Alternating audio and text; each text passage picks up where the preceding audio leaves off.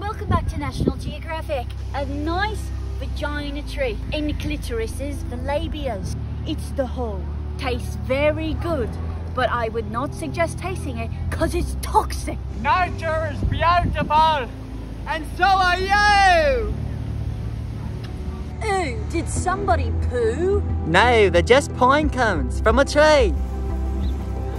Central Park used to be an ocean, and this bush is an ocean bush. The bark is made out of scales, petrified fish bones from millions of years ago. This is the last remaining bits of Central Park's oceanic history.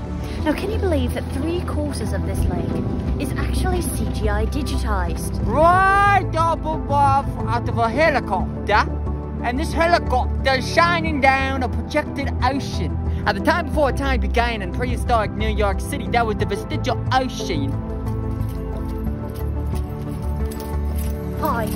Jogging is a staple in Central Park. As you can see, many people do it. And the wonderful thing about jogging is that it gets your blood to turn brown.